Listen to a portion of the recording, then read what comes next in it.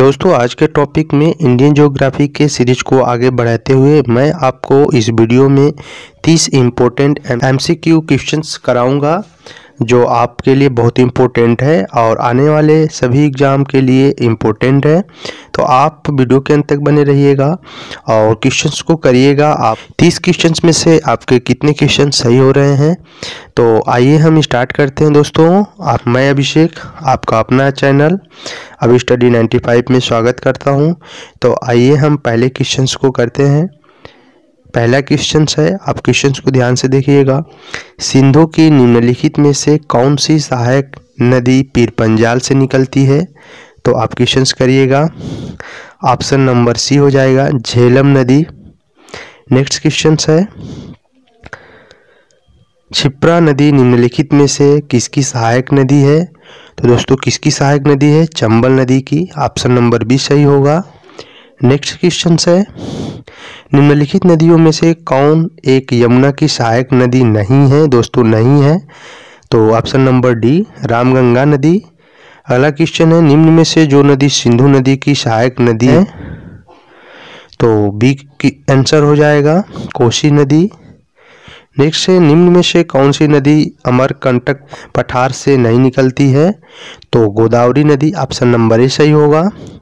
अगला क्वेश्चन है रुद्रप्रयाग निम्न में से किस नदियों, किन नदियों के संग पर स्थित है? तो दोस्तों, अलकनंदा और मंदाकिनी पे। नेक्स्ट है, भारत की निम्न नदियों में से कौन सी नदी डेल्टा नहीं बनाती है? तो इसका ऑप्शन हो जाएगा सी ताप्ती नदी डेल्टा नहीं बनाती है। अगला क्वेश्चन है नदी जो भ्रंश घाटी से होकर बहती है, नर्मदा नदी। नेक्स्ट क्वेश्चन है, निम्न में से क्रेटर निर्मित झील है। दोस्तों क्रेटर निर्मित झील कौन सी है? ऑप्शन नंबर ए लोनार झील। अगला क्वेश्चन है, निम्नलिखित में से कौन सी नदी एश्चुरी नहीं बनाती है? वेरी वेरी इंपॉर्टेंट है।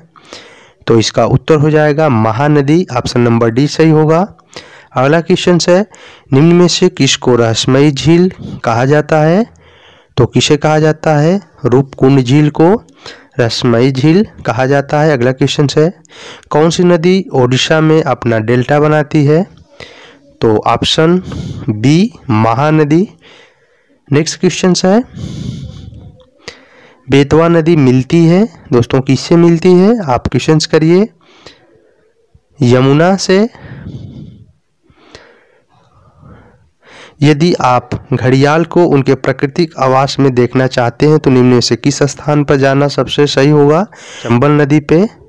नेक्स्ट क्वेश्चन है दक्षिण भारत की नदियाँ प्रमुख रूप से कौन सा अफवाह तंत्र रखती हैं? विष्णुमा ऑप्शन नंबर सी सही होगा। अगला क्वेश्चन है, कौन सी नदी का उद्गम भारत में नहीं है?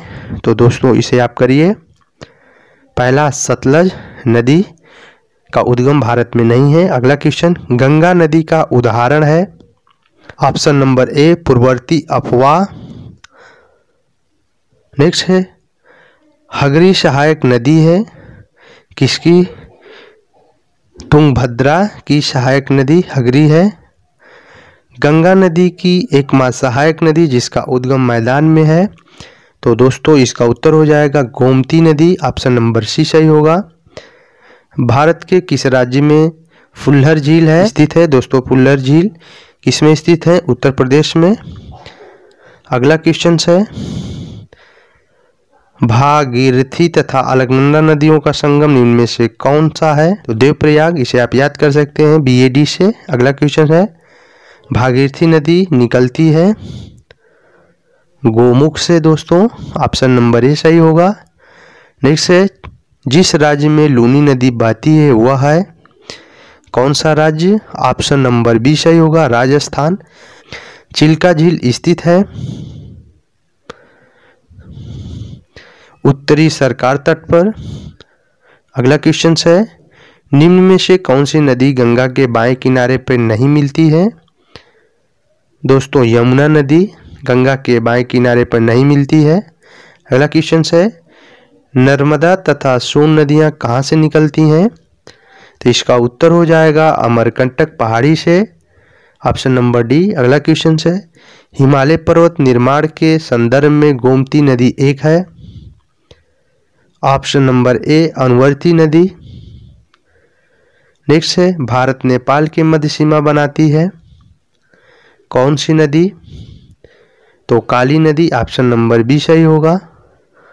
अगला क्वेश्चन है निम्न में से कौन एक लैगुन नहीं है? तो दोस्तों, लैगुन नहीं है, पेरियार झील। अगला क्वेश्चन से, लास्ट क्वेश्चन है जोग, प्रपात किस नदी से संबंधित है? तो दोस्तों, सरावती नदी से संबंधित है। तो आपको अच्छा लगा होगा, आपके काफ़ी क्वेश्चन सही हुए होंगे। दोस्तों, मेरे वीडियो को पहली बार देख रहे हैं चैनल को सब्सक्राइब नहीं किए हैं तो चैनल को सब्सक्राइब करके हाँ साथ में बेल आइकन ज़रूर दबाइए, ताकि इसी तरह का डिजिटल वीडियो सबसे पहले आपके पास पहुँचे। दोस्तों वीडियो को ज़्यादा से ज़्यादा अपने दोस्तों में शेयर करिए। तो जल्द ही अगले क्लास में मिलते हैं। तब तक के लिए जय हिंद, जय Bharat. Thanks for watching. Like, Comments. Share, and subscribe.